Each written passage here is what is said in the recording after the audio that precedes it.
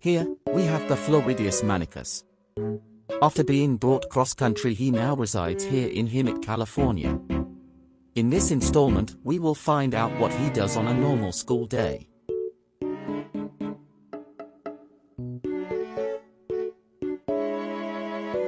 He grabs breakfast on his way to meet his friends. Once there he proceeds to open another tap on his friend Lucas's device.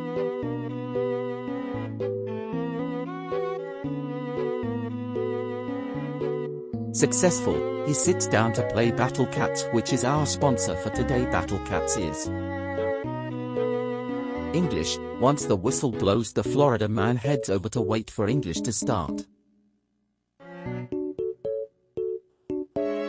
He expresses his disappointment in his friend for playing Rise of Kingdoms without having 50 million power.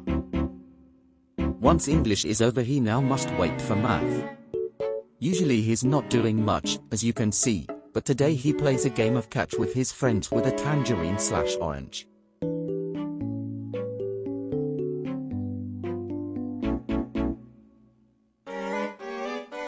After geometry he migrates to the other campus where he will continue the rest of the day starting with bio but all he does is exist which is not that entertaining.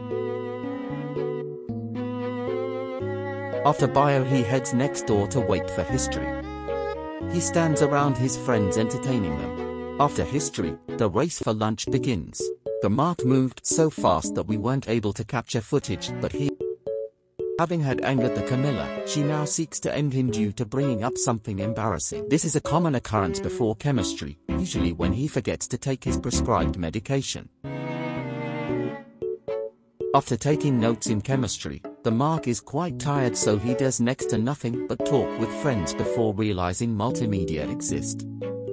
At the end of the day he leaves school surrounded by friends. He will get on his bike and ride home. thank you